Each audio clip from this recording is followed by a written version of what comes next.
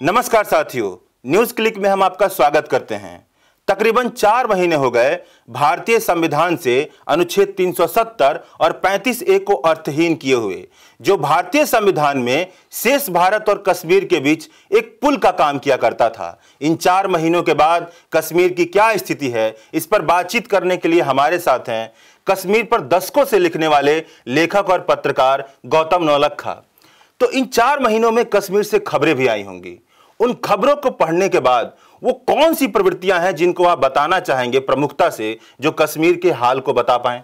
पिछले 100 आज 122 दिन पूरे हो रहे हैं। आज 5 दिसंबर है 5 अगस्त को ये लगाया गया था। 122 दिन में कैद में रखा हुआ है। और ऐसा नहीं है कि केवल कश्मीरी ही इससे प्रताड़ित हैं। जम्मू के बाशिंदे भी इससे प्रताड़ित हैं क्योंकि इंटरनेट पर जो प्र, जो प्रतिबंध लगाया हुआ है वो वहाँ भी काम कर रहा है और छोटी छोटी चीज़ें आप ये देखिए ना नेशनल ये जो एंट्रेंस एलिजिबिलिटी एग्जामिनेशन होता है जिसमें कि छात्र और छात्राएँ एग्ज़ाम्स में हिस्सा लेती हैं ऑल इंडिया सिलेक्शन के लिए वहाँ कश्मीर के बच्चे इस बार कुछ कर ना पाए क्योंकि इंटरनेट डाउन था हम्म। तो तमाम जितने बच्चे हैं लाखों की तादाद वो इस बार हिस्सा नहीं ले पाए। यहाँ से लेकर आप ऊपर तक जाइए। बिज़नेस ठप है। आ, कश्मीर चेंबर ऑफ़ कॉमर्स का अनुमान है कि बारह हज़ार से भी अधिक का नुकसान उन्हें सहना पड़ा है। आ, इसकी भरपाई कौन करेगा इसके बारे में कोई जानते नहीं है। लेकिन बड़े बड़े ख्वाबी पुलाव हम्म। पकाए जा रहे हैं हम्म। कश्मीर के नाम पर मसलन एक छोटा सा मैं आपको उदाहरण देता हूँ अभी हाल में स्टेट इंडस्ट्रियल डेवलपमेंट कॉरपोरेशन के जो अध्यक्ष हैं उन्होंने बयान दिया कि करीब तेरह हज़ार करोड़ का इन्वेस्टमेंट जम्मू कश्मीर आ, में आ सकता है और इसमें बासठ प्रपोजल्स आए हैं आ, करीब चालीस के करीब इन्वेस्टर्स हम्म। की तरफ़ से बासठ आए हैं जिसकी कुल संख्या तेरह हज़ार करोड़ है। लेकिन साथ में उन्होंने ये भी कह दिया कि ये केवल एक्सप्रेशन ऑफ़ इंटरेस्ट है। इसका मतलब है कि अभी लोगों ने अपनी दिलचस्पी दिखाई है। इसमें से कितना एक्चुअल इन्वेस्टमेंट होगा उसके बारे में किसी को नहीं पता है और वो कुछ कह नहीं सकते हैं। इसमें ये मैं जोड़ना चाहूँगा कि राकेश गुप्ता जो कि अध्यक्ष हैं जम्मू चेंबर ऑफ़ कॉमर्स के उन्होंने चुनौती दी उन्होंने कहा ये तेरह रुपए भी अगर लागत आ जाए तो भी हम्म। बहुत बड़ी होगी। उन्होंने कहा कि करप भ्रष्टाचार आज चरम सीमा में है जम्मू कश्मीर में। लॉ एंड ऑर्डर की बहुत बड़ी भारी समस्या है। तमाम इंटरनेट बंद है कम्युनिकेशन बंद है सारा ठप पड़ा हुआ है। ऐसे माहौल में कौन आएगा पैसे लगाने? हम्म। लेकिन दूसरी तरफ़ कुछ और कार्रवाई भी चल रही है।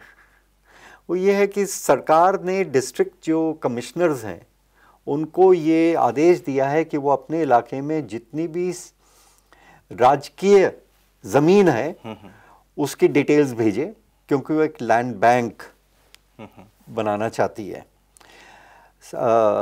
आइडिया ये है कि करीब सत्रह हज़ार कनाल आठ कनाल का एक एकड़ बनता है तो सत्रह हज़ार कनाल उन्होंने अभी तक रेखांकित की है जिसमें दस हज़ार कठुआ और सांबा में है करीब पाँच से सात हज़ार कनाल के करीब कश्मीर में है ज़्यादातर गांडरबल और कुपवारा में। लेकिन अभी भी जो मेन जो अगर हम सिडको के अध्यक्ष के बयान को देखें गहराई से तो वहाँ से आपको पता लगेगा कि ज़्यादातर लोगों ने जो दिलचस्पी दिखाई है वो दिखाई है टूरिस्ट डेस्टिनेशंस में। ज़मीन और प्रॉपर्टी हटियाने की। हम्म। ये खुद कह रहे हैं सिडको के ही लोग। उनका कहना है कि गुलमर्ग सोनमर्ग पहलगांव इन जैसे इलाकों में कुछ लोगों ने होटल बनाने की और रेस्टोरेंट बनाने के लिए ज़मीन या प्रॉपर्टी एक्वायर करने की दिलचस्पी दिखाई है। लेकिन ये सारे अभी हवाबी पुलाव हैं, वो खवाबी पुलाव हैं केवल इसलिए क्योंकि अभी हालात सामान्य नहीं हुए हैं। सरकार की क्या योजना है, वो धीरे धीरे स्पष्ट होती जा रही है। लेकिन वो कितनी कार्यान्वित हो पाएगी, इसके बारे में कुछ कहना अभी गलत होगा क्योंकि अभी स्थिति बड़ी असामान्य है। तो आपने सरकार की योजनाओं को बताया, उन पहलों को बताया जिसे सरकार उनसे जुड़ने की कोशिश कर रही है। लेकिन उनकी अभिव्यक्तता को तो बंद किया जा चुका है ना। भाई जब उनके सिविल सोसाइटी के लोग नहीं बोल रहे हैं बुद्धिजीवी नहीं है इन सारी चीज़ों को जब आप जोड़ लेते हैं तब कैसी स्थिति उनके लीडर्स को हाँ, बंद कर रखा है पॉलिटिकल हम्म। पार्टीज़ नज़र बंद हैं चाहे वो आज़ादी पसंद हो हम्म। या हिंदुस्तान के साथ विलय मानने वाले लोग हों हम्म। सबको बंद करके रखा हुआ है पॉलिटिकल एक्टिविस्ट को उठाया गया है। बच्चों तक को देखिए ना चार हज़ार के करीब बच्चों को उठाया इन्होंने। मतलब ये कौन सी शिष्ट, सभ्य सुसंस्कृत समाज है और राज्य सत्ता है जो कि बच्चों को टारगेट करेगा। बच्चों तक को टारगेट किया, उनको भी नहीं बख्शा है। तो फिर ऐसे स्थिति में इस तरह के कार्य मतलब बातें रखना, एक तरफ़ से लोगों को ये इस बहकावे में रखा जा रहा है कि हम कुछ विकास कर रहे हैं। और ये उनके हित में होने वाला है। अब कैसे उनके हित में होगा जबकि वो कैदी हैं? उसमें उनकी कोई हिस्सेदारी नहीं है। उनकी कोई कोई शामिल होने के लिए सरकार की तरफ़ से और सत्ता की तरफ़ से कोई दिलचस्पी नहीं दिखाई जा रही है। अभी सुरक्षा बल बहुत ज़्यादा होंगे। सुरक्षा बलों की संख्या हम्म। सरकार का कहना है कि सुरक्षा बलों की संख्या कम है। और पहले से कम हो गई है। एक सरासर गलत। सुरक्षा बलों की संख्या वहाँ लगातार जो बड़ी है वो पाँच अगस्त के बाद उसमें भी बढ़ोतरी की ये इजाफा हुआ है। ये हम सब जानते हैं। नॉर्दर्न कमांड के जीओसी जो कि चीफ हैं उनके उनका तो बयान है कि हमें नॉर्दर्न कमांड के अतिरिक्त कमांड से सिपाहियों को बुलाना पड़ा। वो क्यों? क्योंकि आपको और ज़रूरत थी फौज को उधर लगाने की। अब उन्हें वो एल पर लगाया है कि कहाँ लगाया है उसकी बात अलग है लेकिन ये तमाम इलाका जब आपने कहना चाहिए डिस्टर्ब घोषित किया हुआ है तो कहीं भी लगाएँ लोग तो आप लोगों को तो आपने कैदी बना कर रखा तो है। ऐसी स्थिति में उन मंत्रियों के बयान को आप कैसे देखते हैं जो कहते हैं कि कश्मीर से कुछ भी नहीं सुबगाहट हो रही है जब सुरक्षा बलों की इतनी स्थिति है ऐसी स्थिति इसीलिए तो ना हम्म। उन्हें वो दर्द वो पीड़ा वो आ, आ, जिस तरीके से उन्हें लोगों को प्रताड़ित किया जा रहा है ये इनकी समझ के परे है। वो तो देख रहे हैं कि सरकार ऊपर से जो भी घोषणा कर रही है उसी के उसी बुनियाद पर वो अपनी बात को करते हैं। एक छोटा सा मैं आपको उदाहरण देना चाहता हूँ। फरवरी 14 से लेकर 5 अगस्त तक 171 दिन हाँ पुलवामा के उस हमले के बाद एक सौ इकहत्तर दिन इंटरनेट लॉकडाउन नहीं किया गया था। हाँ और उसमें तमाम चीज़ें चल रही थी। आज पाँच अगस्त के बाद, इंटरनेट को बंद करना और उसके पीछे ये तर्क देना कि इसमें इसको करने के पीछे हमारी ये बाध्यता थी कि हम हम पाकिस्तान को रोक सकें हिंदुस्तान में गड़बड़ी करने से। ये उनका तुक है। इसका मतलब है कि पाकिस्तान की एक अहम भूमिका है। तो सरकार नई दिल्ली में बैठकर निर्णय नहीं ले रही है। वो पाकिस्तान के नाम पर निर्णय ले रही है पाकिस्तान के लिए निर्णय ले रही है। लगता ये है। तो ये ये तो एक बेतुक की बात हो गई। तो एक तरफ़ आपने फौज इस कदर बैठा के रखी हैं लोगों की तमाम आज़ादियाँ कुचल दी गई हैं उनके तमाम प्रतिनिधियों को आपने बंद कर दिया कर दिया है बच्चों तक को आपने बख्शा नहीं है हाँ? और ज़ोर ज़बरदस्ती कर कर आप स्थिति को सामान्य लाने का नाटक कर रहे हैं। और उसके बाद तो थोड़ा सा अब पाकिस्तान का आपने ज़िक्र लाया तो अंतर्राष्ट्रीय समीकरण जो कश्मीर के संदर्भ में है जैसे पाकिस्तान अमेरिका या संयुक्त राष्ट्र संघ में इमरान खान की स्पीच इन सारों को लेकर के इस समय क्या आपकी राय है? देखिए पाकिस्तान का कश्मीर के मुद्दों पर एक स्टेक है और ये 1947 से जुड़ा है इस बात से कोई इनकार नहीं कर सकता ठीक है?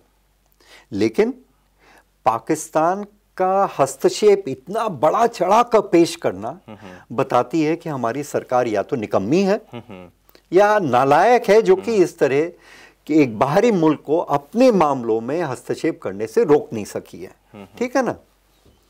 और आप जो कदम ले रहे हैं, उनके नाम पर अगर ले रहे हैं तो इसका मतलब है कि आप अपनी नलायकी और अपनी निकम्मेपन को ही आप हिंदुस्तानियों के सामने भी और दुनिया के सामने भी पेश कर रहे हैं। हिंदुस्तान इस पाकिस्तान के नाम की माला जप कर सब कुछ हासिल नहीं कर पाएगा।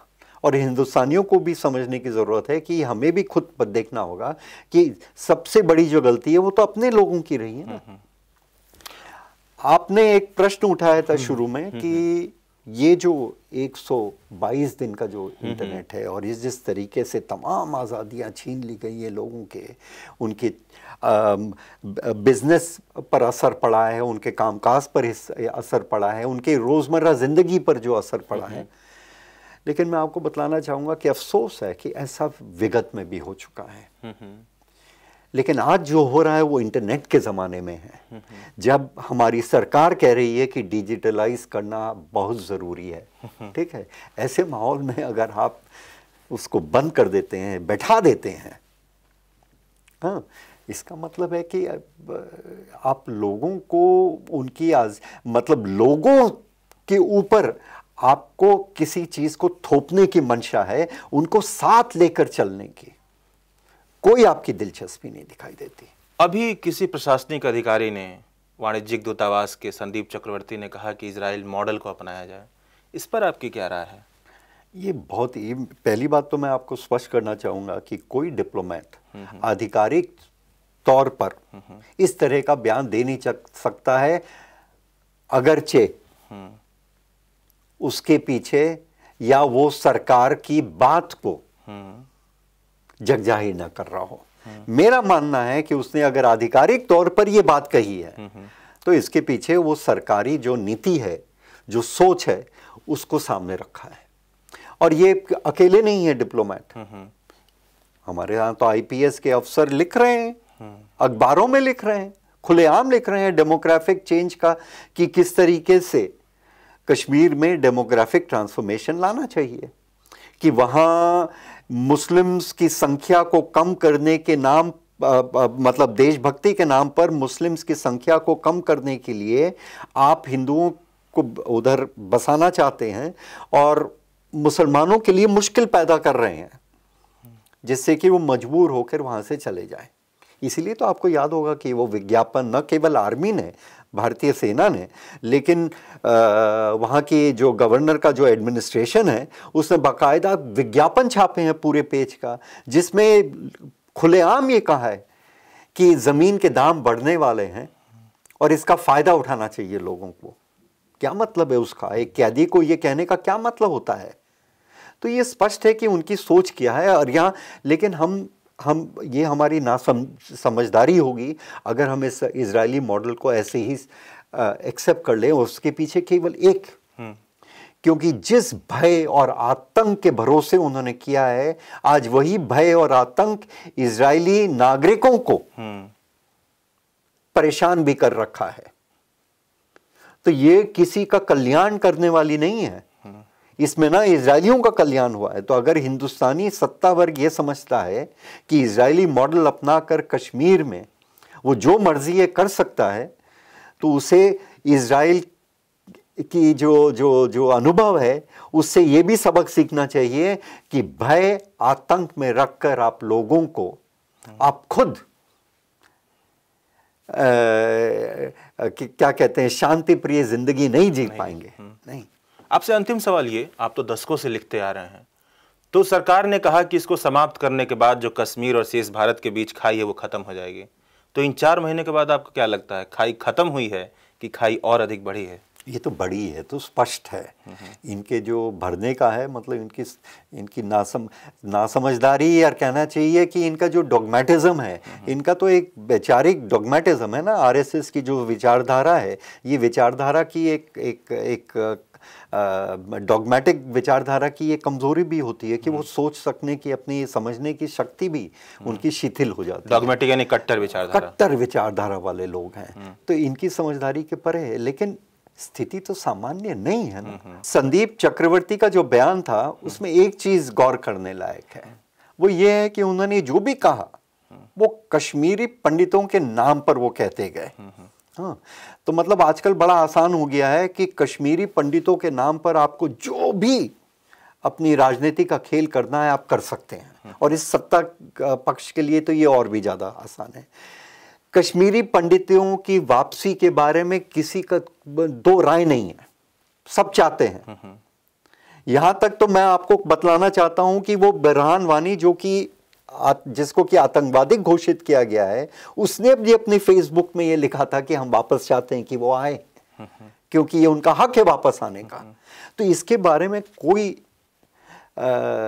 डिफरेंस ऑफ़ ओपिनियन नहीं है। लेकिन बार बार उस बात को उठाना और उसके नाम पर राजनीति करना अपनी हाँ और ये कहना कि कश्मीर की जो की जो की जो कल्चर है जो संस्कृति है वो भारतीय संस्कृति और भारतीय संस्कृति हिंदू संस्कृति है जो कि बकवास है बोगस है।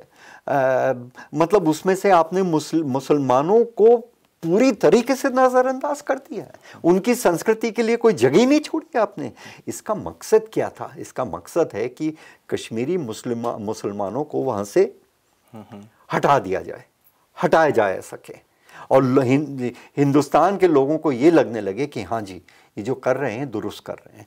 लेकिन मुझे लगता है कि जैसे जैसे ये चार महीने तो अभी शुरुआत है। इसको बदलने में वक्त लगेगा। ये ट्रांजिशन का पीरियड है। ठीक है? इस ट्रांजिशन में कुछ भी हो सकता है। सरकार को और सत्ता पक्ष को ये नहीं समझना चाहिए कि उन्होंने जो अभी तक हासिल कर लिया है कि जी सफलता उन्हीं की होगी। ऐसा होता नहीं है। इतिहास क्या मोड़ लेगा ये कहना बड़ा मुश्किल है। शुक्रिया इस पर हमसे बातचीत करने के लिए। भय के आधार बना करके शांति प्रिय ज़िंदगी हासिल नहीं की जा सकती। शुक्रिया आप देखते रहिए। News click